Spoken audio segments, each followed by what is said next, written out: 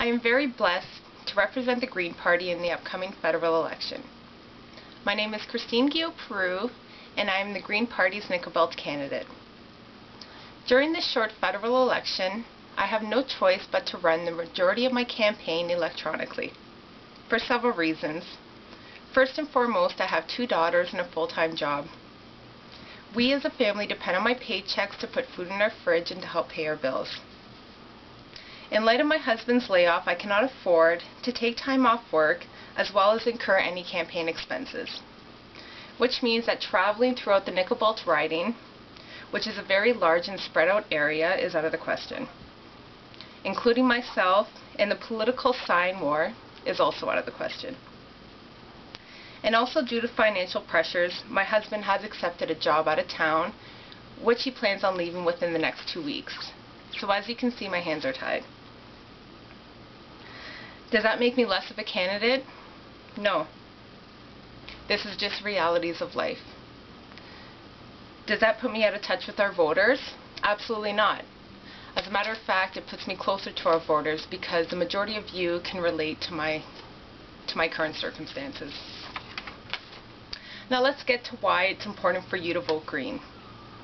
You can find on our website, greenparty.ca, a very detailed book platform that will certainly surprise you and your views on the Green Party.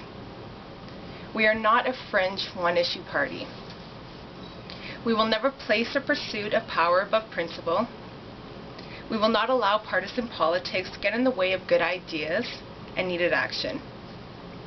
We agree with Canadians who say it's time for parties in Parliament to stop the bickering and to get on the job of governing, combating climate change, and taking better care of our environment, our economy, and our health. Green directions point to more jobs, more time with family, and a livable world now and for our children and their children. Now what makes a good MP, a good politician? Is it someone with a business background? A political science background? Is it someone who has a wealth of money and a handful of promises? No. Inevitably, all of these will do you no good if your MP cannot relate to the common person. I have respect for others' opinions and have the common sense to know that I cannot make an informed decision without hearing all sides.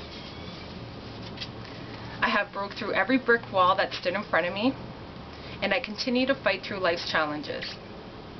I want to use this motivation and strength to help others overcome their struggles. There is no big ego, nor will I let anything get in the way of me listening to the people. That, my friends, is what makes a great politician. Throughout the campaign, I will continue to post video blogs on Green Party policies and on the issues facing us here in the North.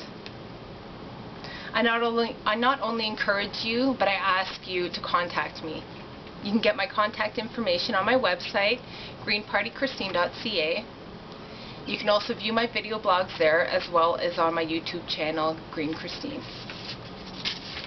I look forward to hearing from you and connecting with you and connecting with as many people as I possibly can throughout this journey. Thank you.